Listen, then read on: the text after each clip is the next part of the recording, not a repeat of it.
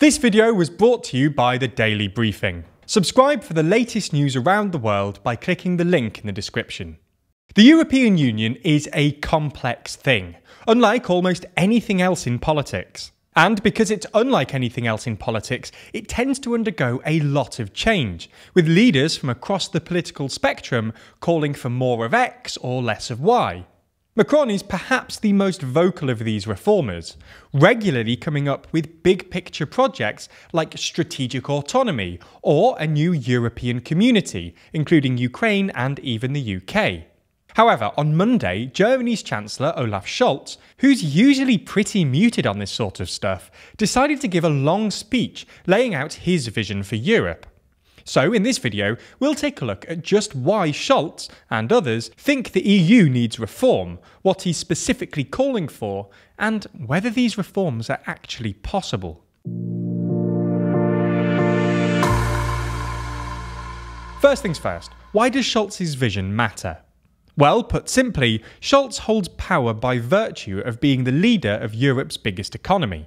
Germany, together with France, has been at the heart of the European project since its inception. The European Coal and Steel Community, the original predecessor to today's European Union, was in large part a French attempt to make further war with Germany impossible by subordinating Germany's industrial base to supranational control. And it was ultimately a Franco German proposal that led to the creation of a European single currency. Conversely, if either France or Germany say no to a proposal, you're going to find it tough, if not impossible, to get it through.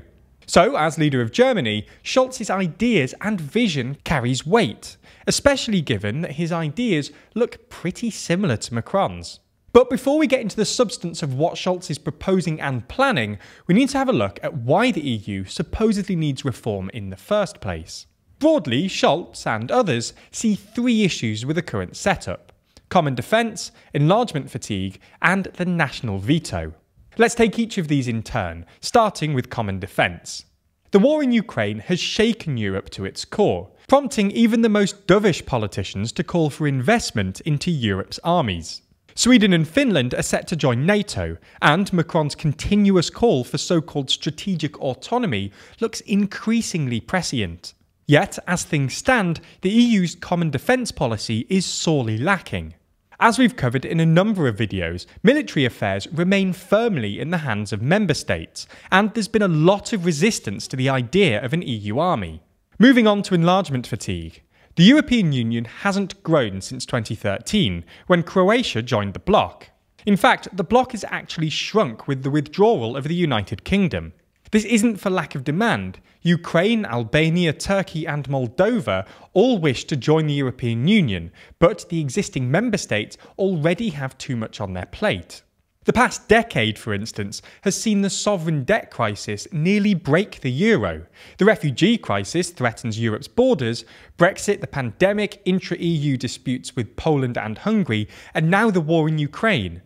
This has sucked the political energy and will out of the enlargement process.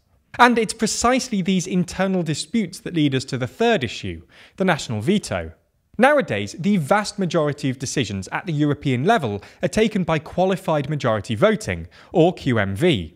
At its core, QMV is basically just a double majority requirement. For a proposal to be accepted, at least 55% of EU member states, representing at least 65% of the EU's population, must back a proposal.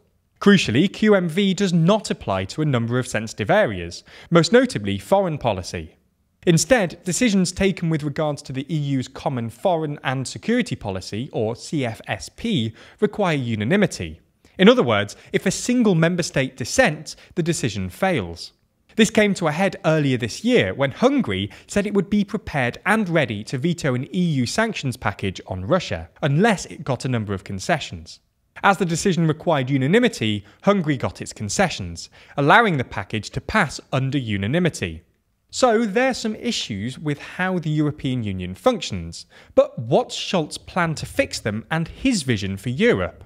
Speaking at the Charles University in Prague, Scholz laid out his vision of Europe, noting from the very onset that the centre of Europe is moving eastwards, and the member states must deliver on the promise of peace that formed the core of the bloc by, quote, enabling the European Union to safeguard its security, its independence, and its stability also in the face of challenges from without.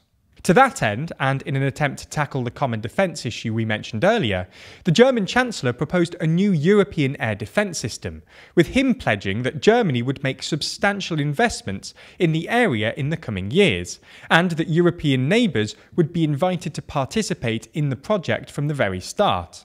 On this issue, Scholz warned the audience that, quote, we have a lot of catching up to do in Europe when it comes to defending ourselves against airborne and space based threats. While this project is still a long way away from Macron's idea of an EU army, Scholz's proposal is certainly a move in that direction.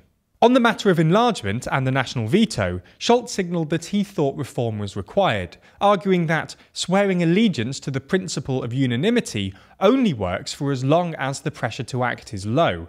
Clearly, Scholz is considering that major crises like the war in Ukraine require more immediate action, and trying to please everyone will only slow the bloc down. In addition to this, Scholz went on to highlight that the risk of an additional country using its veto and preventing action increases with each additional member state. With multiple countries in various stages of accession, Scholz suggested that the EU gradually move away from unanimity to majority voting in common foreign policy. But interestingly, he also proposed a similar shift in other areas too, notably tax policy. This is a sort of implicit concession. Scholz is basically saying to the more Eurosceptic members if you let me have majority voting for defence, we can have majority voting for tax issues, which means no more vetoes for the more fiscally conservative member states like Germany.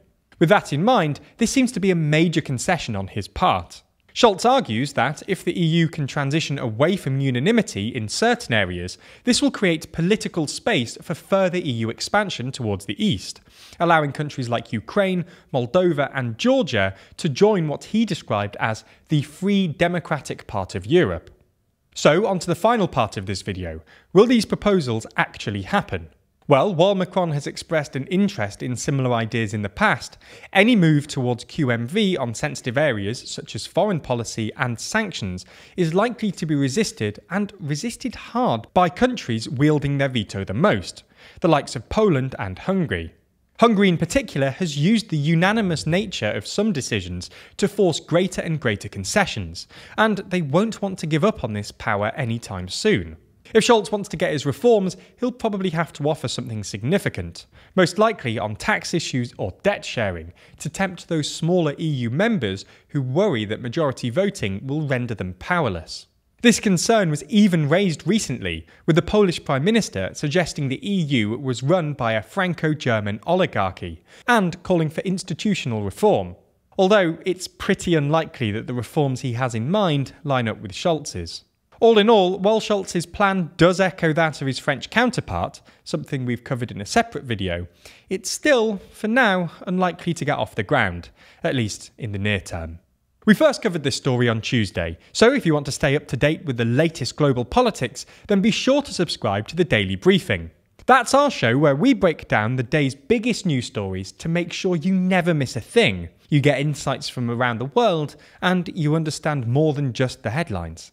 You can watch the show every weekday on the TLDR Daily YouTube channel or listen through your favourite podcast app. Subscribe now by clicking the link in the description and never feel left behind by the news cycle again.